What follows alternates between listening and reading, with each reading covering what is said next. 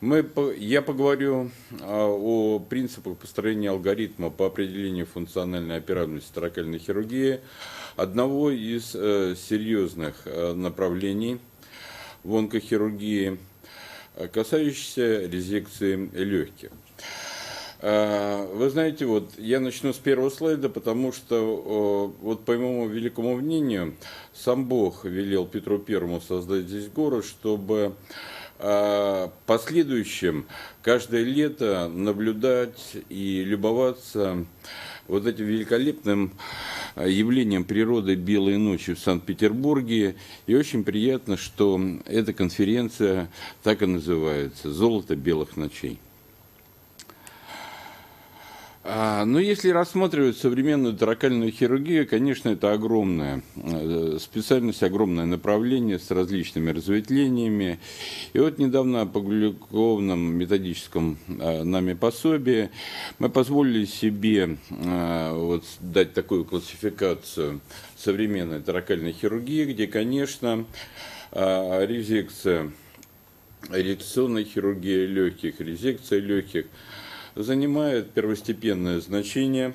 И э, надо сказать, что в этом направлении уже давно ведется работа и отработаны алгоритмы построения э, так сказать, допустимости больных к оперативным вмешательствам.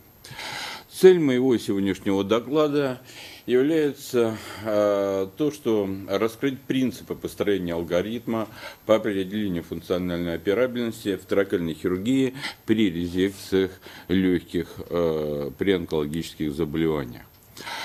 Ну, э, такой общий смысловой слайд, конечно, э, имеется в виду клиницист, не только анестезиолог, реаниматолог, но и э, любой клиницист, заинтересованный в лечении больного, имеет, естественно, три цели в предоперационной оценке пациента. Прежде всего, это превенционно определить риск осложнений, снизить риск переоперационных осложнений и устранить факторы риска у пациентов с риском осложнений послеоперационном периоде. Но что же представляют из себя а, факторы риска а, операционного? Это вообще сочетание нескольких факторов. Прежде всего, это, конечно, функциональное состояние пациента. Это физиологические расстройства, которые вызывают хирургическое инвазивное вмешательство. Безусловно, это мастерство и опыт оператора.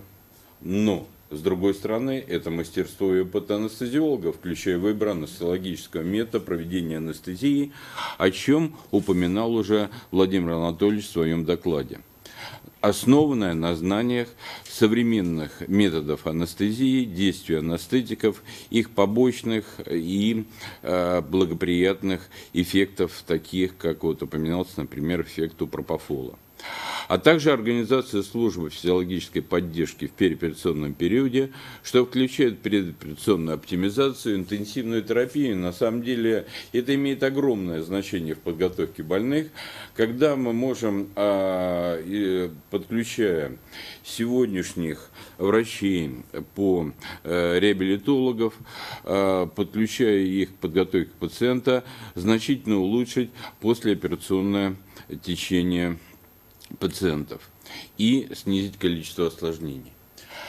Сегодняшние международные рекомендации признают центральную роль анестезиологов в предоперационной оценке. В том смысле, что анестезиолог дополнительно при а, контакте с больным он может выявить пациентов, которым требуется предоперационная оценка команды интегрированных междисциплинарных специалистов, включая и самих анестезиологов, реаниматологов, кардиологов, хирургов и при необходимости расширенной группы терапевтов, пульмонологов и гериатры. Опять-таки, об этом упоминал сегодня Владимир Анатольевич в начале своего доклада, когда анестезиолог вдруг могут вызвать, э, выявить при э, первичном э, разговоре с пациентом какие-то новые обстоятельства, которые не, не обращали ранее, но которые могут иметь решающее значение в подготовке пациента и проведении анестезии. Ну, конечно, вы прекрасно знаете вот эту вот современную, э, но не современную классификацию, а классификацию АСА, которая принята сегодня во всем мире функционального состояния э, пациента перед операцией.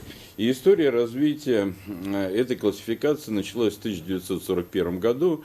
Я подробности истории, конечно, рассказывать не буду. Посмотрите, она прошла ряд этапов, проходила достаточно много времени, при переосмыслении классификации.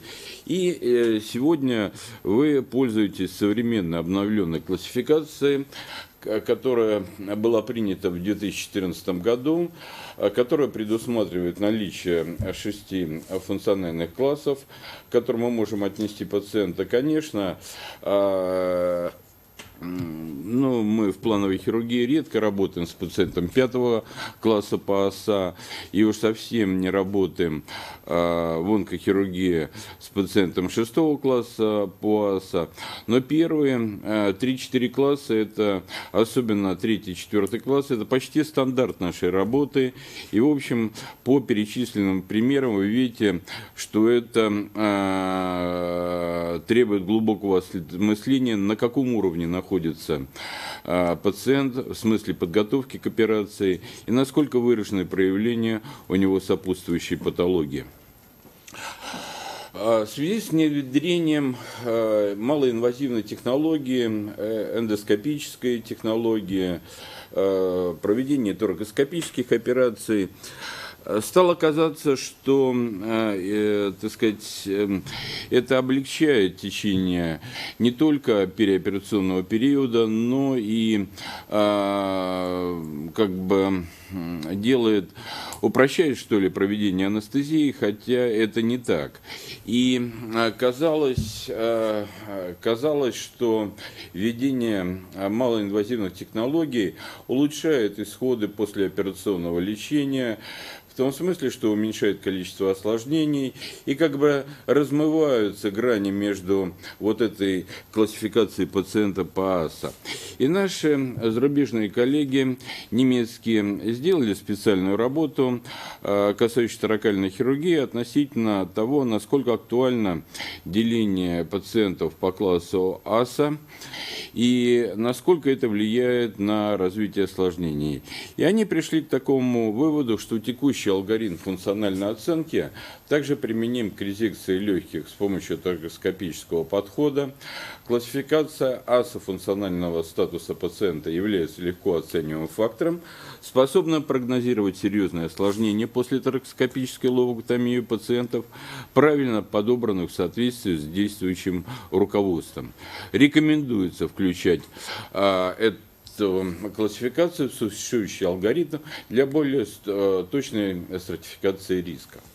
Основными рисками в торакальной хирургии принято считать, что а, это действительно так, являются респираторные осложнения и осложнения со стороны сердечно-сосудистой системы. Я не буду перечислять их.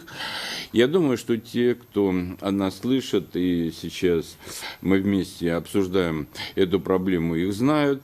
Но и также вы знаете, что примерно они делятся поровну и проявляются с частотой от 10 до 15 процентов пациентов как респираторные, так и сердечно-сосудистые осложнения, приводя к общей летальности в торакальной хирургии в общем для всех видов операций торакальных от 2 до 3 процентов. А, в 2016 а, году а, Всемирная Федерация анестезиологов-реаниматологов создала специальный бюллетень, согласно которому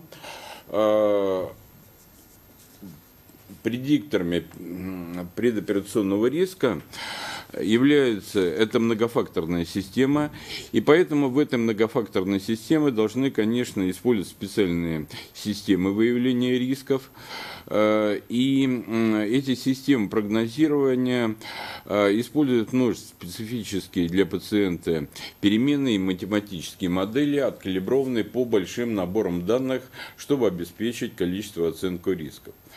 Но понимаете, какая вещь? Э, при том, что разработано сегодня достаточно много серьезных моделей по стратификации риска, подчеркивается, что э, Конечно, они позволяют более точно прогнозировать риски.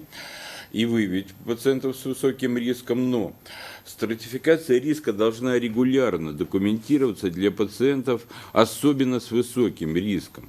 А с другой стороны, получается так, что эти разработанные модели на большом массиве пациентов не позволяют ни один из этих инструментов э, не позволяют им отвечать всем характеристикам идеальной системы оценки и должны использоваться с учетом их, конечно, ограничений. Но, с другой стороны, совершенно четко выявлены риски для развития сердечно-сосудистых осложнений и четко выявлены факторы риска дыхательной недостаточности после операционном периоде.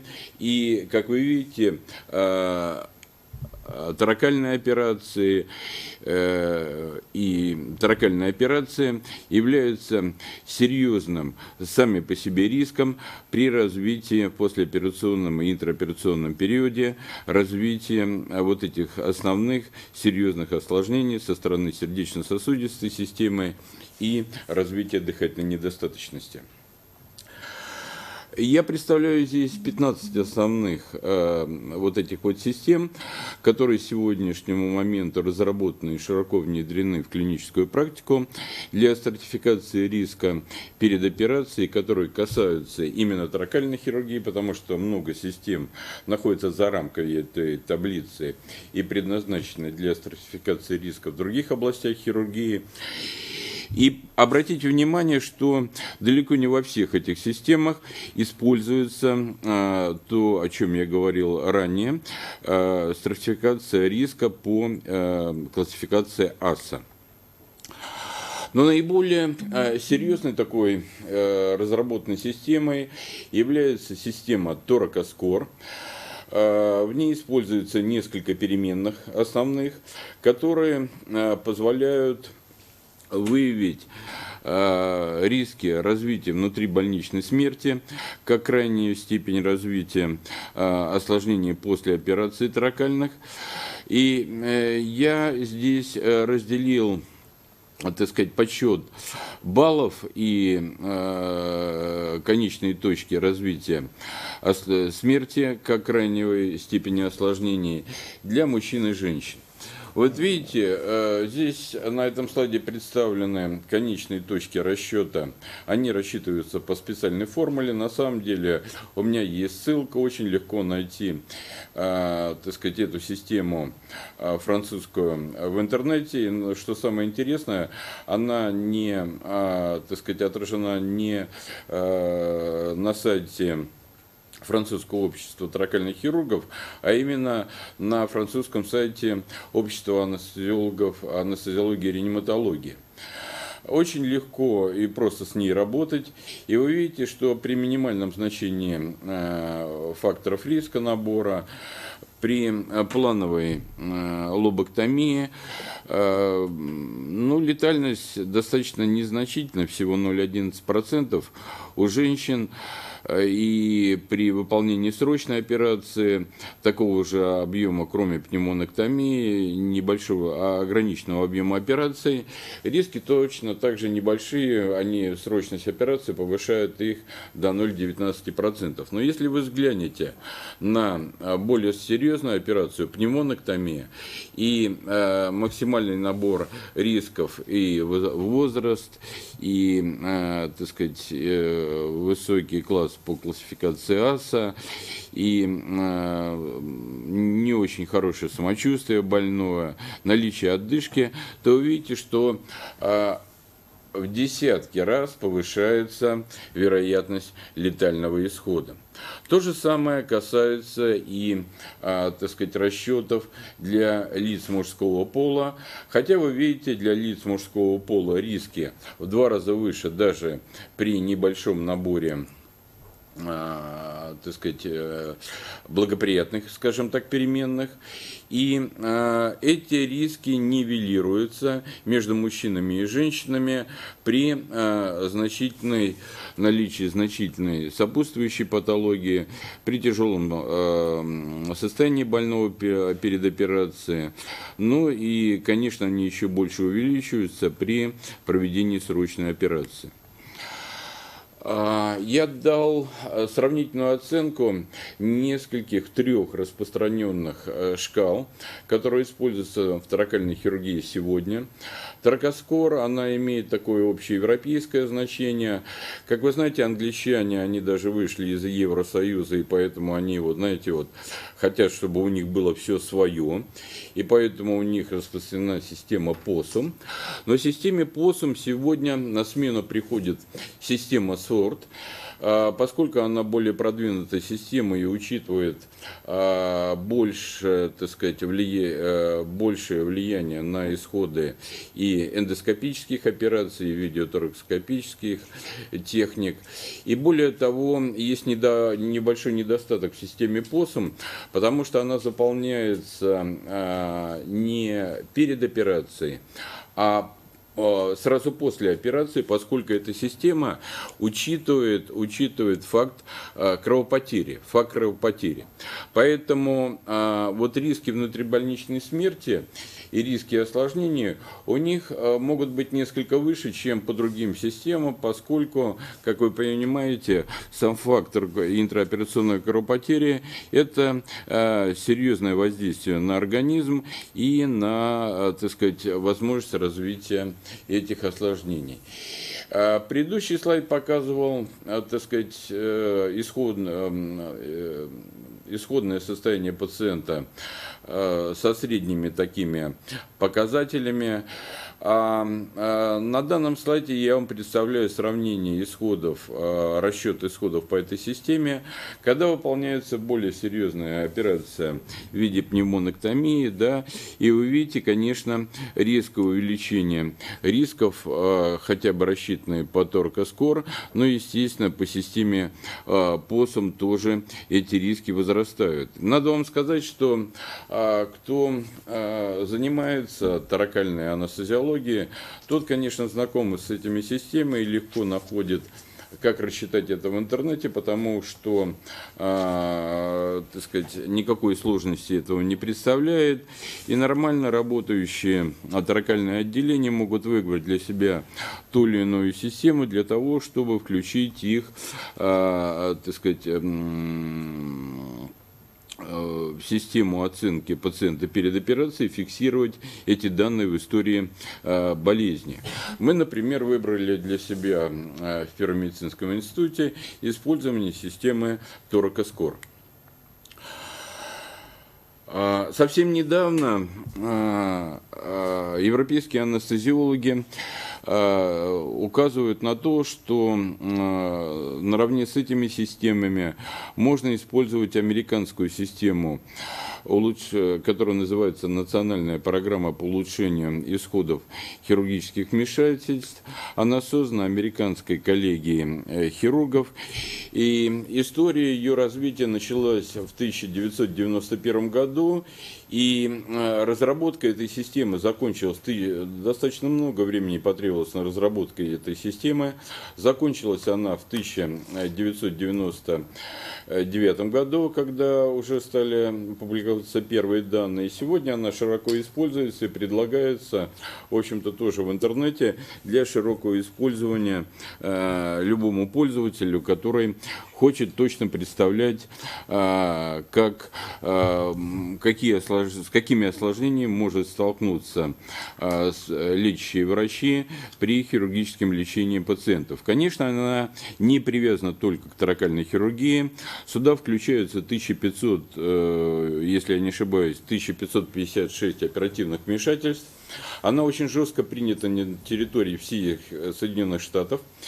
И э, заполнение ее выглядит таким образом, что оценивается по меньшей мере 21 э, фактор, э, который может способствовать неблагоприятному исходу после операции и развитию осложнений. Заполняется э, это, заполняется она э, перед э, началом операции, и э, выглядит это вот таким вот образом. Вот это вот я вам показываю слайд, как выглядит эта система оценка перед э, проведением э, лоботомии и э, как увеличиваются риски, если планируется пневмонэктомия. Но, конечно, всегда стал вопрос о точном прогнозировании риска. И в 1983 году а, профессор э, Генсберг впервые а, заговорил о том, что надо а, более точно исследовать физиологические показатели пациентов, включая спирометрию, показатели газообмена и оценки физические нагрузки для вырыва подходящих кандидатов э, к операции. Вот так вот выглядит э, сегодняшний набор э, исследований физиологических показателей, сперметрические показатели, это показатели диффузионной способности легких, не лабораторное и лабораторное кардиореспираторное тестирование. Конечно, исходно исторически, э, эмпирически выведено было о том, что такой показатель, как объем форсированного выдоха за первую минуту больше, чем полтора литра, позволяет допускать пациента к лоботомии, а объем форсированного выдоха э, измеренный больше, чем 2 литра в абсолютном значении к пневмоноктомии. Но, понимаете, какая вещь? Вот эти вот измеренные показатели спериметрические не учитывают пол, возраст пациента, антропометрические данные, функциональное состояние легочной ткани, подлежащие резекции, а также не учитывают кровоток. Существуют э, специальные, так сказать, ориентировочные данные для того, чтобы отнести пациента к тому или иному э, степени тяжести перед операцией по риску возникновения осложнений. И существуют специально скорректированные формулы, которые позволяют более точно использовать эти показатели сперметрически. Диффузионная способность легких начала внедряться для оценки пациентов, э, э, пациентов перед операцией значительно Э, значительно раньше, чем показатель ОФВ-1, начиная с 1963 года. Это достаточно точный показатель. Вот. Но оказывается, что э, расчетные значения этого показателя могут быть, так сказать, на них могут влиять и неодевантная терапия, которая проводится э, у пациентов перед операцией, что может, э, так сказать, ухудшать э, прогноз заболевания. И несмотря на то, что все-таки оценка риска по этой системе и с помощью этого показателя является достаточно удобным инструментом, но не, далеко не во всех клиниках она используется, потому что существуют ограничения в использовании из-за трудоемкости и стоимости обследования. И надо сказать, что отдельно взятые эти показатели, они, конечно, могут быть малоинформативными. И поэтому для системы более точной оценки взят более э, глобальный показатель взаимодействия как респираторной, так и вентиляционной системы. И э, это показатель является показатель пиковое или максимальное поглощение кислорода. Э, они часто используются как синонимы, просто разница э, заключается в том, что а, а, с помощью какого тестирования достигнут э, это значение этого показателя в конкрементном тесте. То есть, например, или это трендмил, или это велоэргометрия. Ну и, э, конечно, есть ориентиры определенные относительно максимального потребления кислорода. Это те используемые тесты, лестничный тест и шестиминутный тест с ходьбой вы видите, так сказать, обозначенные результаты допустимости пациентов а, к операции. Если больной проходит 400 метров и поднимается более чем на 22 метра, то максимальное потребление кислорода этого пациента составляет примерно 15 мл на килограмм в минуту, что является совершенно благоприятным а, прогнозом для переоперационного ведения пациента. Но э, надо сказать, что эти тесты все-таки требуют уточнений, и обычно при этом измеряется артериальное давление до и после теста, частота сердечных сокращений, а самое главное, необходимо измерять э, пульсоксиметрию, поскольку э, даже при нормальном прохождении теста снижение э, сатурации кислорода на периферии больше, чем на 4%, является неблагоприятным фактором относительно функционального функциональной операбельности. Другое ограничение нелабораторного кардиореспираторного тестирования заключается в том, что на основании этого тестирования максимального потребления кислорода нельзя рассчитать послеоперационные прогнозируемые значения по потреблению кислорода, что является одним из решающих факторов в решении вопроса о функциональной операбельности.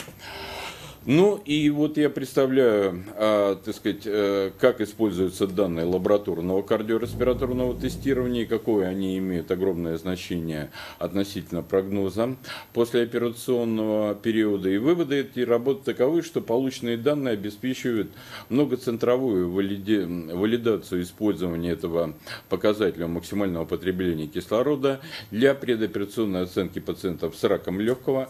Однако авторы поощряют, это американцы, американцы. Агрессивный подход при оценке этих пациентов для операции, чтобы они имели шанс излечиться от рака легкого даже при низких показателях. И э, многие хирурги говорят о том, ну да, низкие показатели, но больной-то э, страдает тяжелым э, заболеванием онкологическим, и надо дать ему шанс, если э, резектабельная опухоль. Да, действительно была проведена работа, а можно ли это делать? И действительно оказалось, в действительности оказалось то, что если у пациента максимальное потребление кислорода в результате оценки этого показателя ниже, чем 10 мл на килограмм в минуту, а, существует перед операцией, то а, практически все такие пациенты погибают или имеют тяжелейшие осложнения, которые а, проявляются в послеоперационном периоде. Встает вопрос, а кто должен выполнять эти сложнейшие исследования? Вообще это непростое исследование, исследование длится около часа. И это должны выполнять специально подготовленные специалисты. И по результатам а, такого широкомонтажного исследования в Англии оказалось, что большинство этих исследований выполняют анестезиологи, как самые заинтересованные а, специалисты, хотя могут выполнять и другие врачи. И вы знаете, что если у нас крупное медицинское учреждение, в этом медицинском учреждении а, создан центр анестезиологии и реанимации, там существует 4-75 ставки а, врачей-функционалистов, и поэтому, конечно, э, развивать эту технологию необходимо, особенно в крупных клиниках. Мы говорим о том, что существуют риски со стороны дыхательной системы, респираторной системы, но не менее важны выявить риски со стороны сердечно-сосудистой системы.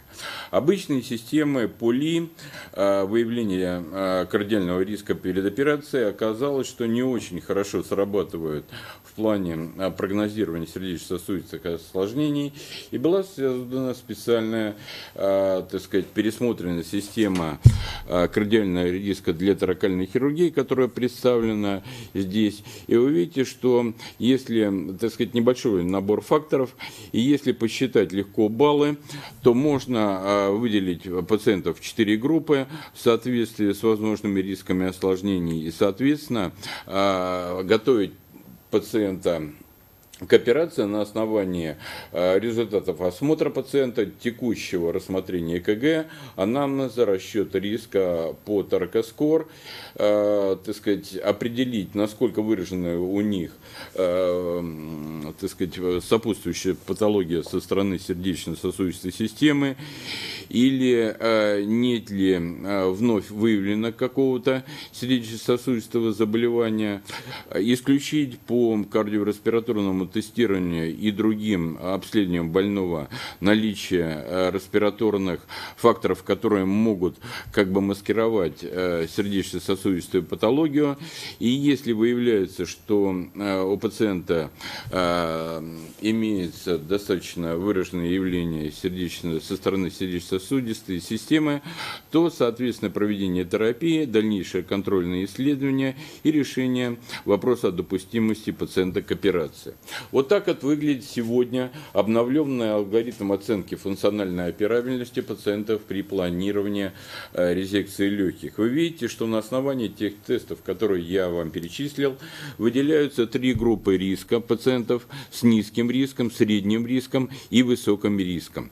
И, конечно, э, так сказать, э, в зависимости от этого выбирается определенная тактика и со стороны хирургов, и выбирается определенная тактика со стороны анестезиологов. Совместно они решают вопросы о усилении предоперационной подготовки, чтобы снизить риски в дальнейшем переоперационном периоде.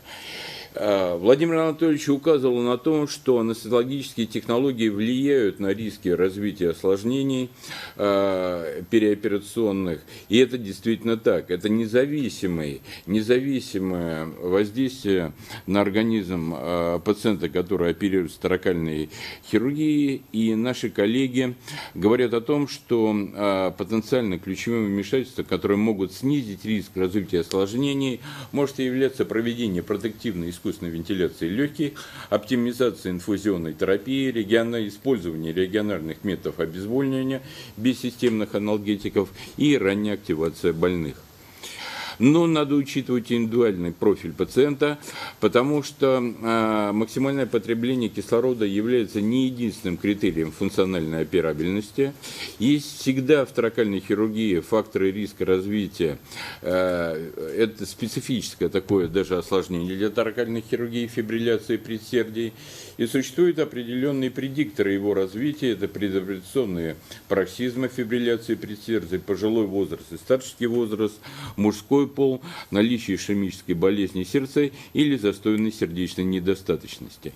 Ну и позвольте а, а, сделать некое заключение, потому что я говорил ну, во я хочу сказать о том, что существующие прогностические шкалы и модели переоперационного риска для таракальной хирургии не всегда включают показатели, полноценно отражающие функциональное состояние пациента и дополняются алгоритмами. В ряде случаев требуется корректировка значений показателей, включенных в алгоритмы, для усиления их информативности. Врач-анестезиолог-реаниматолог действует в рамках окончательного решения алгоритма допустимости выполнения операции. Мы все-таки идем за больным и его договоренностью между больным и хирургом относительно возможности операции. И поэтому а, а их прогнозы хирургические и их расчеты рассчитаны на долгосрочный прогноз хирургического лечения заболевания. Анализ результатов функционального риска врачом-анестезиологом-реаниматологом нацелен на уточнение индивидуального профиля пациента и принятие оптимальных решений по его переоперационному ведению. Его роль врача-анестезиолога-реаниматолога может стать ключевой, если он ответственен за проведение кардиореспираторного нагрузочного тестирования. Я благодарю всех за внимание. Надеюсь, что э, моя, э, мой доклад был, был полезен особенно тем врачам-анестезиологам, реаниматологам, а, которые работают в области таракальной хирургии.